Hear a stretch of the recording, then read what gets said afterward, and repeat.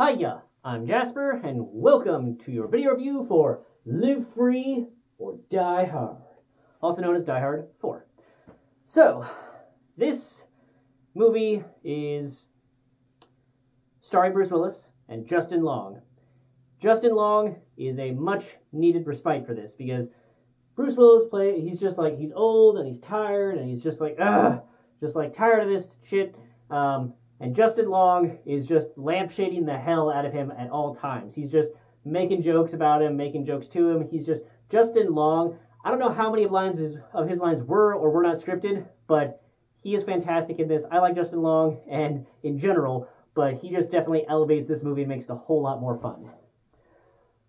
That being said, yes, John McClane is an old guy, but damn, I don't know what happened between three and four, but Bruce Willis is looking fit as fuck in this movie. Like, this movie was like, what, 20, 2007? And the first movie was 1988? Like, and he looks the fittest that he ever has in this movie. Maybe it's just down to good wardrobe, but looking good.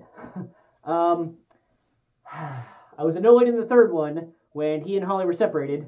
I was very annoyed in this one that instead of them making it up, they are divorced. So I'm annoyed at that, and I'm also annoyed that he doesn't have a great relationship with his daughter. But at the same time, I can oh, I can understand the daughter thing because yeah, if they're divorced, then that probably isn't going to go well. And then also just teenagers in general and parents don't get along. Um, I was trying to figure out where the fuck I knew his daughter from. I was like, I know I've seen you in something. Scott Pilgrim versus the World, Ramona Flowers. So you're welcome because it was bugging me because I'm like, she's badass, and I feel like I've seen her other badass things, and I have.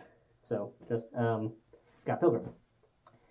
Anywho, I am glad that finally there is not obnoxiously dumb police in this one, unlike the other, like the first one and the second one, especially.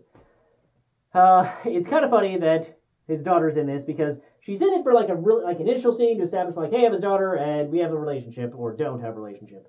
Uh, but then you don't see her again until like an hour and 18 minutes into this film, which is just crazy. But whatever. Uh, I like that the guy from District B13 is in this. He's fun. A uh, little bit, little bit of humorous shown in his character. Just saying. Um, but this movie, it definitely is where the Die Hard series started to jump the shark because Bruce Willis in the first one was an ordinary man in extraordinary circumstances.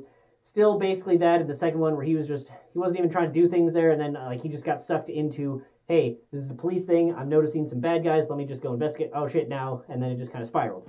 Number three, there was a vengeance quest against him. And then again, like because of the technological and bomb possibilities uh, for that, you know, that's what forced him to like kept keep on being like the single man action hero for this is because they couldn't get so many involved because of the communication problems in that. And that was fine. But in this one, like he's throwing cars at helicopters and just I don't know, man. It just he seems to. It's sort of like how Vin Diesel in Fast and Furious One, you know, it's all about family, but he's just like a normal guy. But as the as they progress, it turns out that he's like a superhero with a car. He's not like Bruce Willis is not Vin Diesel in this, but he's definitely trending in that direction. And uh, overall, I enjoyed the movie, but there are some things that really bug me about this movie. Like there's this scene in this movie with the F 35.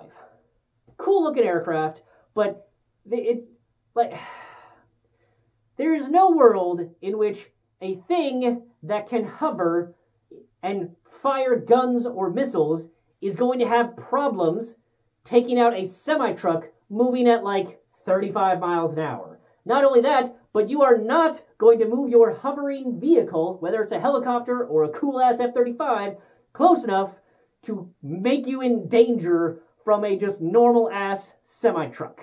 And this F 35 is just bullshit. He does all of the stupid things. So, kind of spoilers, like minor spoilers, the F 35 is told that this semi truck is a terrorist thing.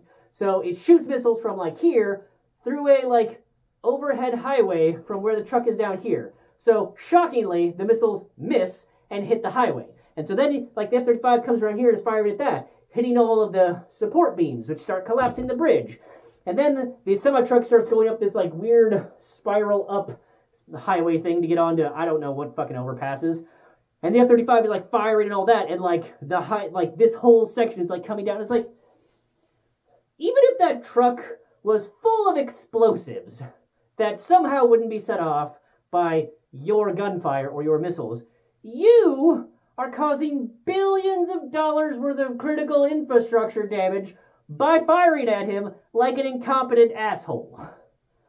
It just blows my mind how that made the final cut. And that, and it gets taken out. The F-35 gets taken out by the semi truck in one of the dumbest ways possible. It's just it's so dumb. It's so dumb. so again, overall a good movie. Some dumb bits like that in it, but Bruce Willis is great in this. A lot of the side characters fun. There's even Tuvok. I mean, he's not playing Tuvok, but the guy who plays Tuvok is in this, and I like that.